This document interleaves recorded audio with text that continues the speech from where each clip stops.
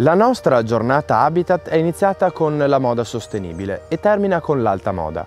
Dolce Gabbana hanno presentato la loro nuova collezione a Siracusa sulla splendida musica della cavalleria rusticana di Mascagni.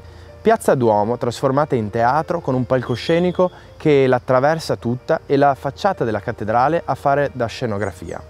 Un panorama fascinoso con il quale le giornate Habitat si congedano. Per tutti l'appuntamento è per settembre. Buona estate!